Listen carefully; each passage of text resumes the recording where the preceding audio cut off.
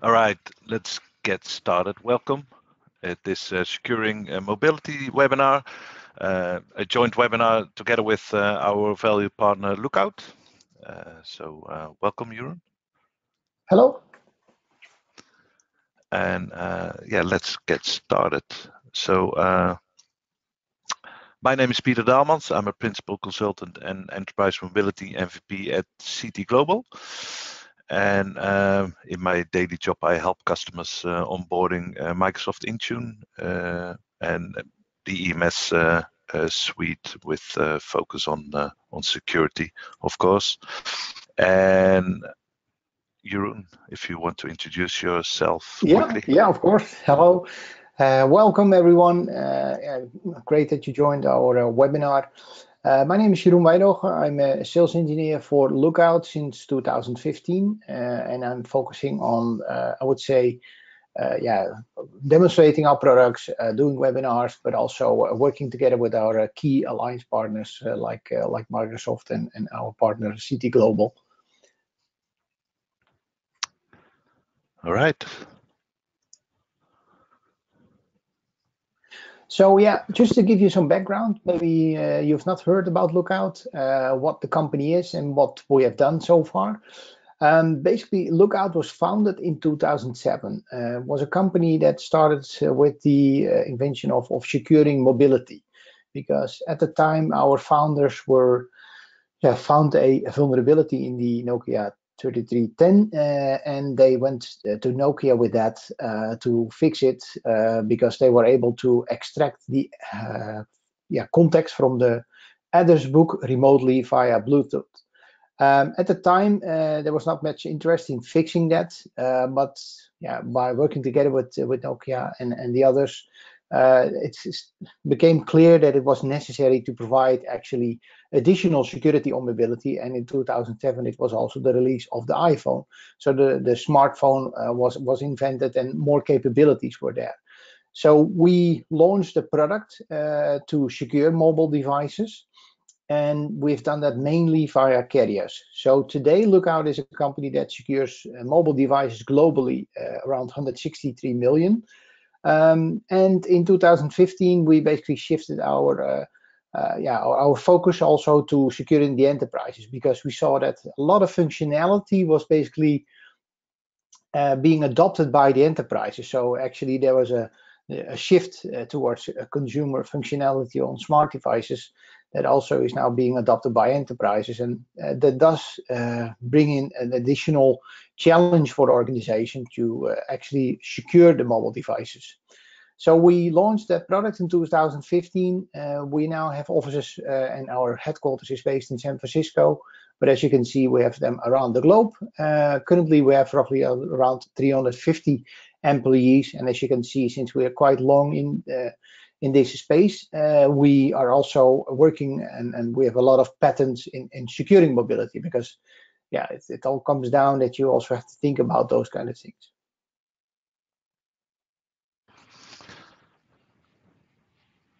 So indeed, and why would we want to uh, protect our mobile devices? You think?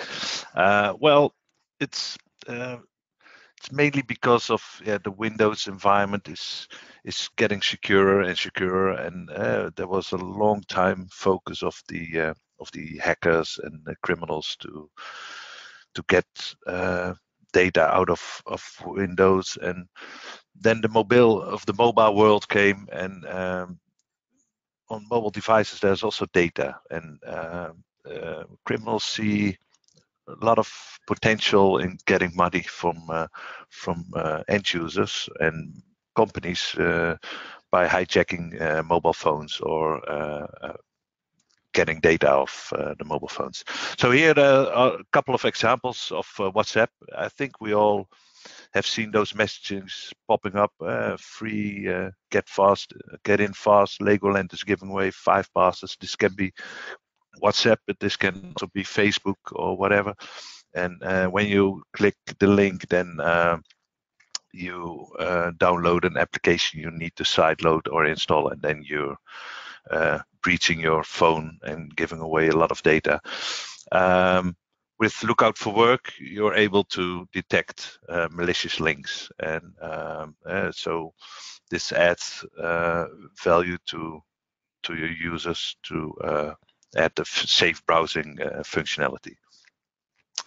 Um, a good thing to know is that if you go to the URL uh, listed uh, on the left, then uh, if you do uh, click in of type in the URL in a in a normal computer, then it will also be uh, will be uh, redirected to legoland.com, so to the original website. when you do this on a mobile phone, then you will be landing on a malicious page.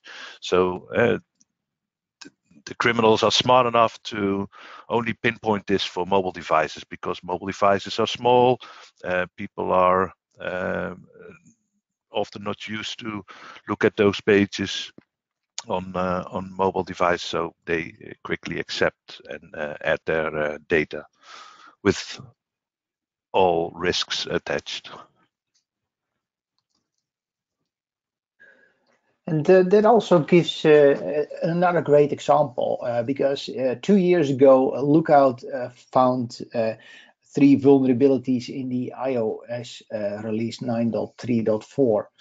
Um, because a human rights activist was actually being attacked via sending a text message, and that's what you see on the left-hand bottom message. It was actually targeted for this human rights activist that he needed to download or he, uh, yeah they wanted to show him pictures about uh, things that were happening in in in, in the prisons in, in, in the middle east.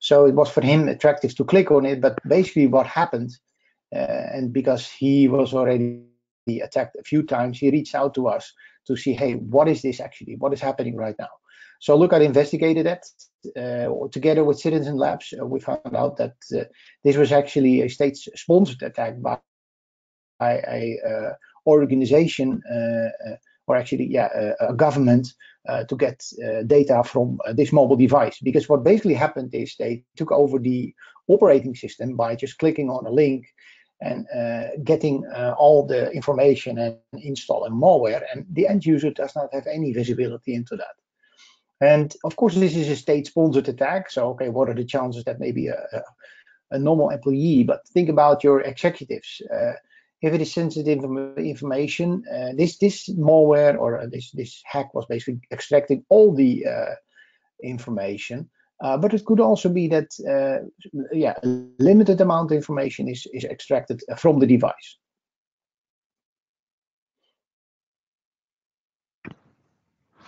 So then you have the uh, the, the phishing uh, uh, campaigns from from I don't know who, who does it. Uh, can also be state sponsored, but uh, we have some uh, couple of examples for Office 365.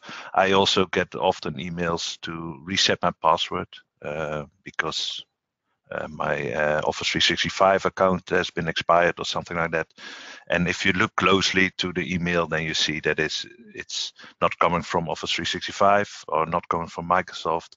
It looks like uh, the look and feel is is good, but um, yeah, those links are uh, often uh, redirected to other pages where where you uh, don't need to enter your details.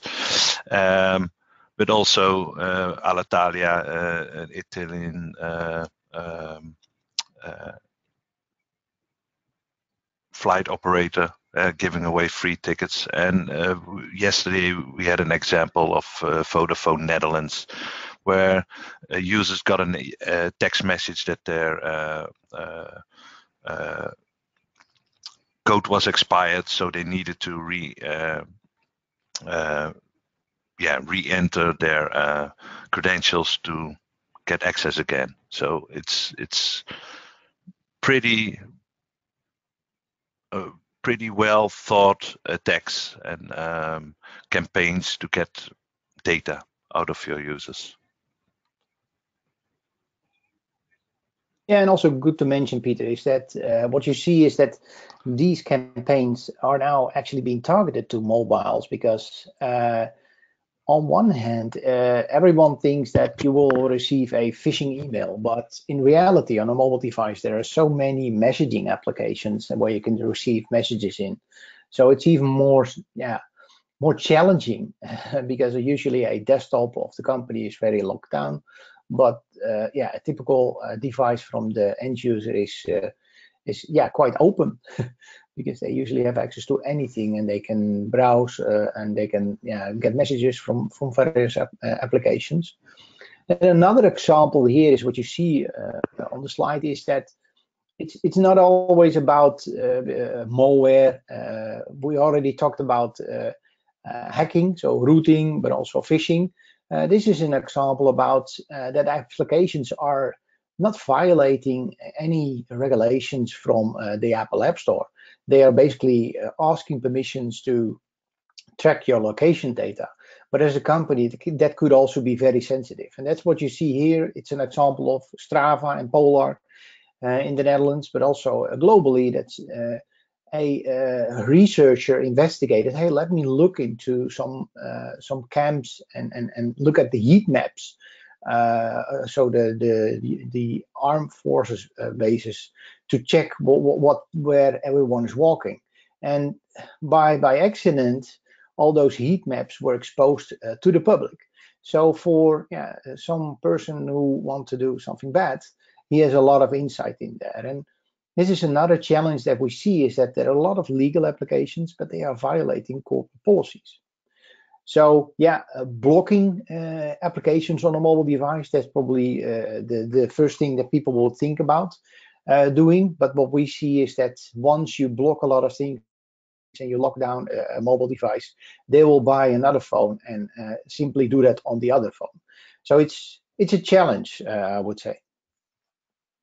Yeah, and I think in the Netherlands, the, the military is not allowed to use uh, apps like Strava anymore, where they uh, track their where their bicycle uh, tracks are and stuff like that. For for this reason.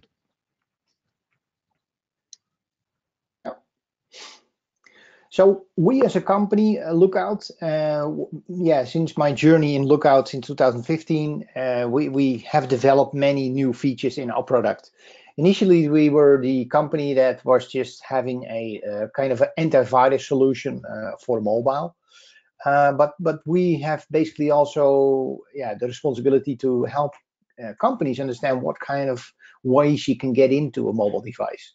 So what you see here is that we created the mobile risk matrix. This is just an independent view of of what kind of risks and that's what you see on the left hand side uh, that there are risks invoked on using a mobile device so you have threats you have software vulnerabilities because software is developed by humans but also the, the behaviors some some someone can uh, badly uh, use the, the, the mobile device or just maybe uh, configuring it wrong and then you see um, uh, that's uh, also with the attack vectors so on a mobile device, you have the same attack vectors, of course, as on on a on a on a on a desktop because you have uh, applications, the device, network, and web content.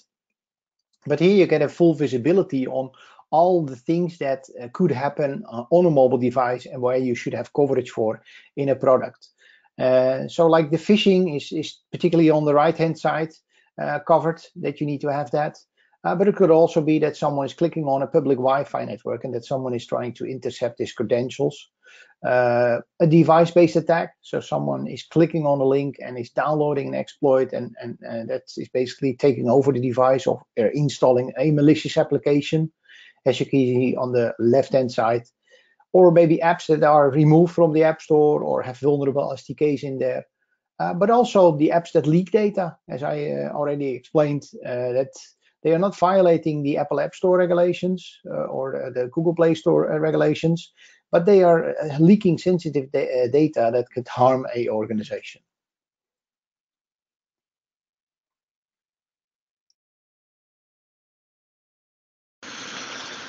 So an example on how uh, yeah criminals try to to sway us to enter our, uh, in this case, Dropbox uh, uh, account. And yeah, which one is fake? if you look at the mobile device, it's, it's smaller, and for for us, it would be easy to see, okay, this is a fake one. But for your end users, uh, when they're maybe log in once in a while in Dropbox, they won't see the differences.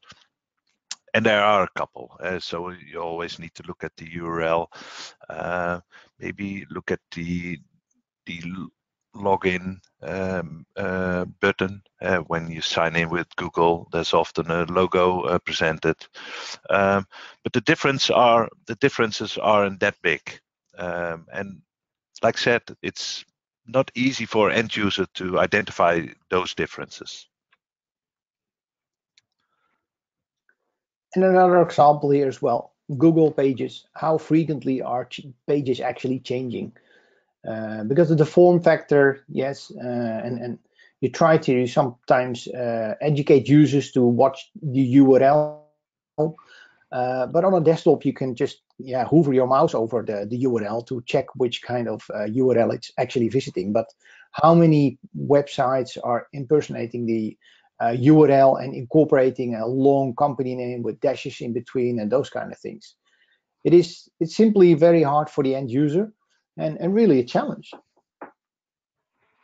Yeah, and if we look at Office 365, then uh, yeah, another example. Uh, we used to log in with uh, Office 365, but nowadays it's all Microsoft uh, using the Microsoft uh, uh, credentials and the Microsoft branding. But yeah, for a user, it's it's really hard, really hard. So and yeah, what can happen? It's also, yeah, what can happen? And, and this is a great example, I think. Uh, it's not only that you, uh, and, what you now see happen in the background is that someone is clicking on a link and actually the, the phone is crashing. And uh, yeah, this this can happen, of course, to any platform. It's not that we're trying to uh, uh, make a, a vendor look bad, but what we want to say is that yes, it's not about uh, not all about malware on a mobile device or uh, unsecure Wi-Fi networks. No, it's also about that you want to have kind of visibility and that you want to have control because this was simply a link uh, that someone clicked on. So what if you at least had something in control that you could maybe block or prevent uh, on that mobile device or notify the end user, hey, this is a malicious link uh, that could have prevented this. So if this is happening with a phone and this is only that the phone is crashing, but it could also be that maybe the, the phone fully wiped or, or, removed all the data. Uh, you don't want that to happen to maybe 10 or 20,000 employees that you have running around globally because yeah, that, that would be devastating. Uh, yeah, and indeed, it's good to point out that uh, uh, in this deck we use a lot of iOS examples, but for Android there are maybe much more uh, examples we should could also be uh, showing, uh, like the really locking the device. we have we have had seen the issues that people were taking over the device by resetting the passcode and um, yeah, without paying uh, bitcoins, they couldn't get access to their device anymore. Um, but yeah, often iOS is considered the most secure platform. Um, not always. Yeah, and it's it's not everyone is using an iOS device, so it's a mix, and that's uh, yeah, that, that's the freedom that end users want to have, and, and that is also good. Uh, Lookout has many, many customers running around uh, with the, a mobile device and, and just to give you a better sense on what is the need. And, and we did provide a lot of samples on just to uh, uh illustrate how easy it is and how easy users can uh, can be uh, can be tricked to install malicious applications or click on malicious links. But among the customers, what we have done is just a survey among all the customers to to check what, what is the actual threat encounter rate on, on mobile devices. And what you see on application level is that we see a lot of attacks, and, and it's much easier that someone is being requested to install an application. Um, many organizations say, no, our users don't do that. But take the example of Pokemon Go, when it was not released, uh, still a lot of employees were playing that, and they were playing that on mobile phones that were also accessing corporate data. Um, soon it became clear that a lot of uh, Pokemon Go applications were also released to download for free uh, outside the uh, Google Play Store. Uh, that you could, yeah, that they were infected, or uh, uh, there were a lot of other examples as well with with Fortnite, because Fortnite is is a very popular game among amongst children, but also adults in that uh, they are not distributing it uh, via the official Play stores just because, yeah, uh, Google is requesting uh, uh, an additional fee for that to for the, the distribution, and they don't want to uh, don't want to pay that. So there is only a way to download it from yeah Fortnite website, but there are also other places where you could download that. So and and hackers are easily incorporating malware into that. Uh, on iOS, I would say it's, it's the same. What we see is that a lot of users are sideloading applications, and sideloading basically means that they are circumventing the uh, app vetting process of Apple. So you don't and, know what this application does. Yeah, and it, it, it, it's strange to me because when I used to have my iPhone, my first iPhone, I needed to jailbreak my my uh, iPhone to sideload an app, but apparently this is much easier nowadays. Um, everybody can sideload apps. Yeah. So, and also what we see on rooting and jailbreaking, uh, the percentage, I'm not going to name them, but yeah, we do see some encounter rates on men in the middle, but it's not, I would say, uh, uh, something that we see often uh, because, yeah, uh, that is it is happening uh, that people's credentials are being stolen when they are connecting to a Wi-Fi network, but not that much. Uh, but if you look at, uh, yeah, I think the, the other attack vector, uh, phishing and content, we see a lot of mobile devices are actually encountering uh, a phishing URL. And that's roughly around 10% what we see on our platform.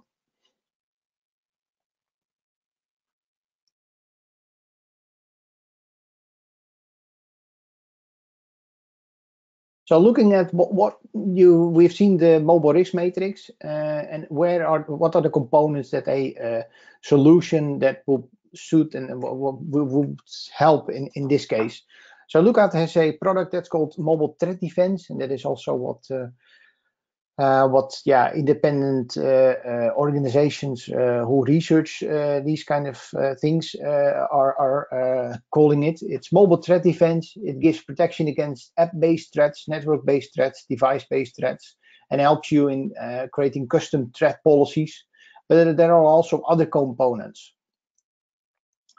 And the other components are the data, like I said, uh, exhibiting behavior that we don't want, like data leakage. Uh, it's called mobile application reputation services, but also patch management and, and uh, mobile vulnerability management, how we call it, and also the phishing and content protection.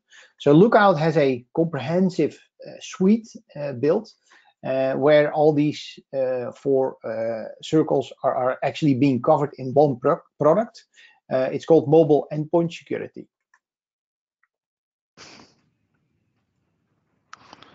So if we look uh, at how this works, um, in this figure we have the mobile device which is connected uh, to uh, to our corporate data. Uh, this can be email, this can be SharePoint, this uh, can be uh, yeah anything in the cloud considered corporate or on premises. Um, with the Lookout uh, client installed, um, it's always uh, in touch with the uh, security cloud of uh, Lookout. Where and the security cloud of Lookout is is the the large database of uh, uh, with information about malicious apps, malicious websites, etc., etc. Um, so what happens if if a vulnerability, a threat is detected? Um, the mobile device reaches out to the Lookout cloud, and uh, because of the integration with uh, with uh, Microsoft Intune and Azure AD conditional access, um, a device is directly um, um, marked as not compliant. And uh, we all know that if a uh, device is marked as not compliant, then conditional access can kick in and uh, block access to corporate data. Um, so this is this is a good good thing, and this is done instantly. Um, so if the user removes the app or removes the the the, the threat, uh, the device is uh, marked healthy again, so the device will be uh, compliant again, and the user has uh, access uh, again.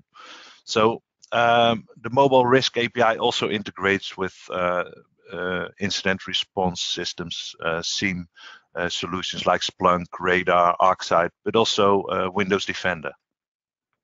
So, and then with Windows Defender, you have all the information in uh, in one place. So if we look at um,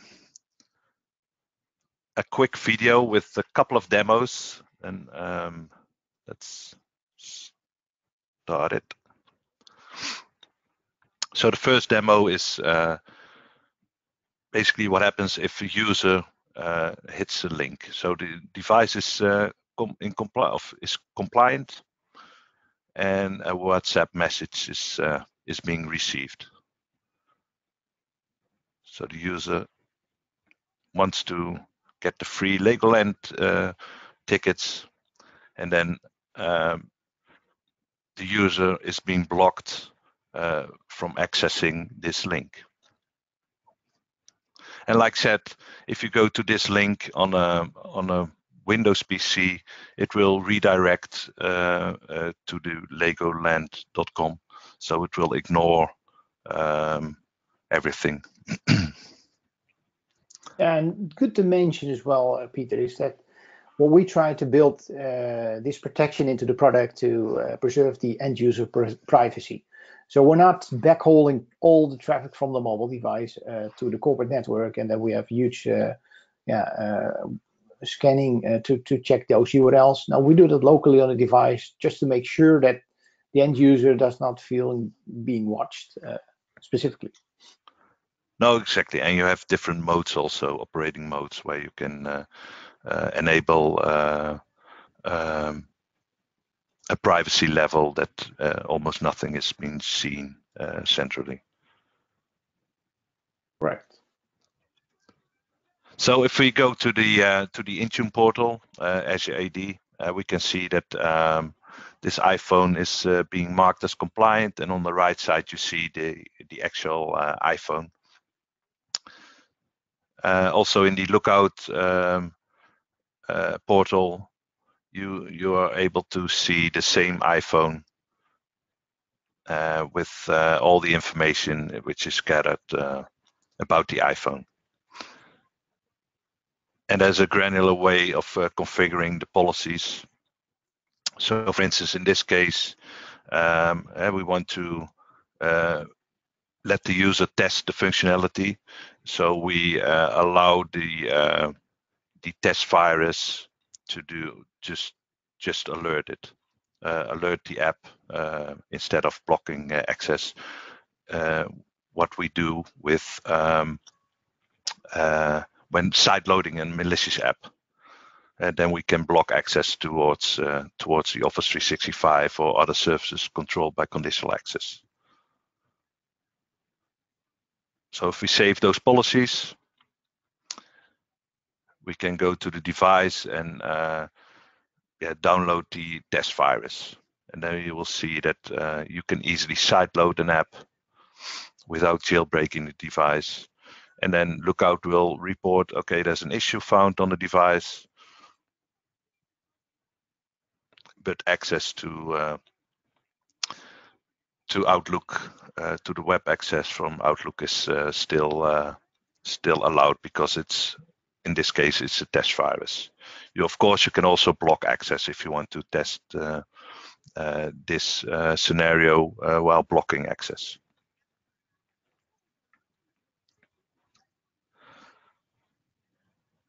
So if we go back to the uh, to the website and download another app, which uh, where we can install the app, and we need to uh, accept uh, a management profile to trust it, and then at the same time, uh, Lookout is uh, detecting two issues.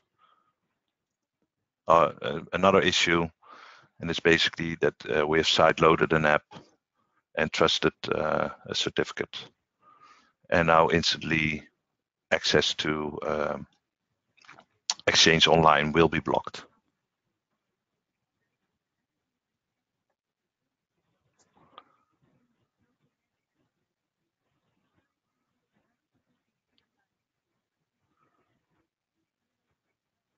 So uh, we can also, uh, you see that also uh, uh, access via the Outlook app has been blocked. So all access towards uh, Office 365 is blocked. So if you look in the uh, in the app in the company portal, you see that Lookout has found an issue. And if you look in the Intune console, you see that the device is not compliant and the same counts for uh, for the lookout console where you can dive deeper in the uh, in the issue. So on the right side the device is already uh, uh being remediated aka uh, the user has removed uh, the malicious app and um, the information is directly sent towards lookout cloud and of course azure ad and the device is being marked as compliant and the user is uh, will have access to their uh, to their corporate resources again.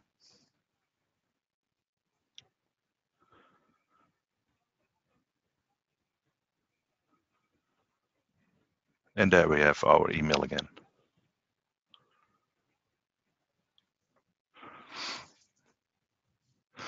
So good thing to mention is that, uh, of course, um, it's a, big part of the remediation is the user responsibility. Um, it's not that uh, we can configure um, uh, automatic uh, removal of apps. Uh, that's totally up to uh, to the users.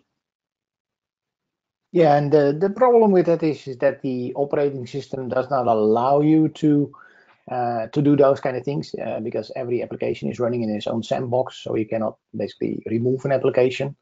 But what we can do, and, and that is also in, in line with the uh, end user privacy and, and, and freedom, is that we say, okay, on one hand, the organization wants visibility. That's what you get with a product like MTD. Uh, but then uh, for the end user, they can still do what they want. And on the other hand, the uh, let's say the security for the organization is still in place. So uh, no data is leaked and uh, no access to corporate uh, data is, currently possible when a threat is, is active. And if you, it's not only that we are saying that, hey, uh, yeah, mobile is actually forgotten uh, because if you ask someone, hey, do you have a kind of antivirus solution on your uh, uh on your uh, desktop, then everyone probably raises his hand. But but how about threats on mobile? Uh, Gartner is the, independent institute that looks at it, and they also say that by 2019, the the overall malware that is available, so total of PC and mo mobile, is that one third of the malware uh, in 2019 will be uh, uh, targeted to mobile devices. So it's it's it's becoming a, a problem, and so is an MDM solution. If you can click, Peter. Uh, if, you, if you look at an MDM solution uh, like Intune, uh, is that also sufficient or EMM? Uh, no, it's Gartner is also recommending to put on top of it a mobile threat defense solution. So to get visibility, to get additional protection in place there uh, for uh, the mobile device and make sure that your corporate data is not not leaked. Yeah, the visibility helps also with the GDPR uh, we currently have in uh, in Europe, where you need to prove that you have done everything uh, to protect uh, the company uh, from data leakage. Um, so just to summarize, uh, why is, is, is Lookout the best partner to work with? Um, thanks to our tight integration that we have with uh, Microsoft products. Uh, Lookout is one of the first that had the Intune uh, integration uh, to get automated remediation so the administrator does not get additional work because yeah, uh, if a threat is detected, uh, automatically conditional access kicks in. we now also support integrations with Windows Defender ATP as the only vendor, and uh, yeah, Microsoft has chosen Lookout uh, to integrate with that for the mobile devices because yeah, the current portfolio of Microsoft uh, does not offer any protection uh, on the attack vectors mentioned from the mobile risk matrix. Uh, so uh, they've chosen Lookout to, to help in, in securing mobile devices, iOS and Android. So Lookout approached the problem as a big data problem.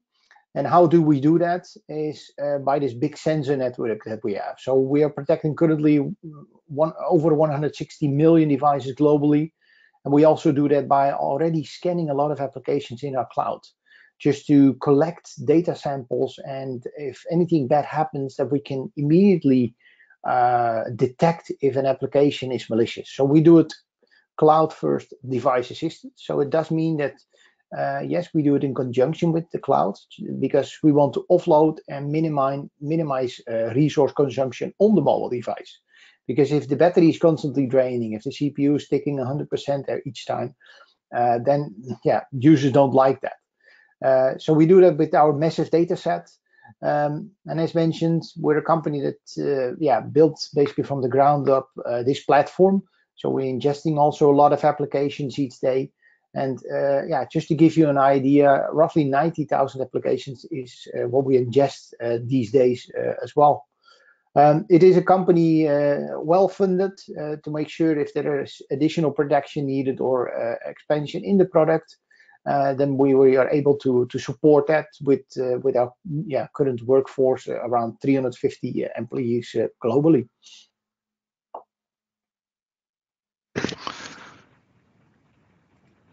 And then we come to the Q&A section if you have a question, yeah, feel free to type uh, in the question in the uh, in the IM window. I have a question um, uh, to your um, experience, uh, Jeroen. Um, uh, you work together with uh, with both uh, Apple and and Google, and if you find an if you guys find an Apple of a, a Google app which is being malicious, um, you report that to Google, and how quick is it normally being removed?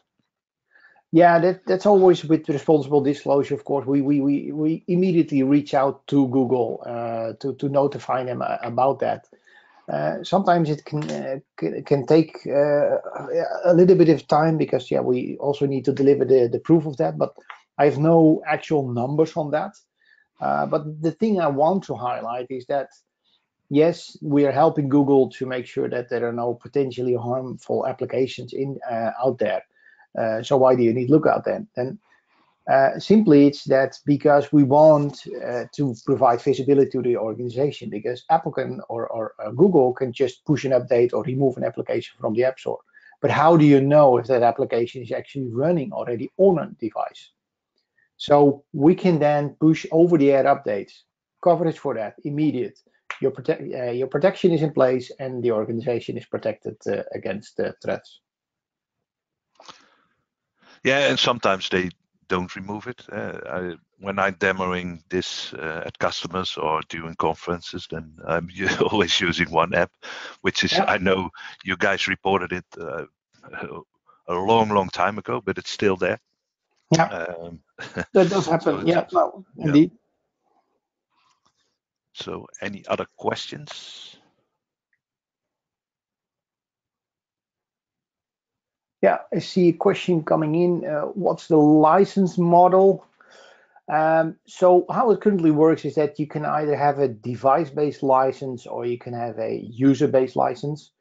It is always, yeah, the calculation that you have to make as an organization but we usually see uh, among our uh, customers who do use Microsoft products is that we just have the same model, the user-based license.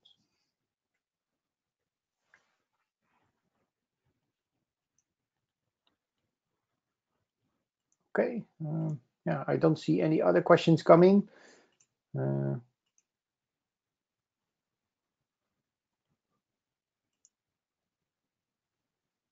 If not, then uh, thank you very much for your time. Uh, if you have questions afterwards, feel free to uh, reach out uh, through email, and we will uh, take care of uh, of the answers. Okay, thank you all. Right. Bye bye. Thank you very much. Bye bye.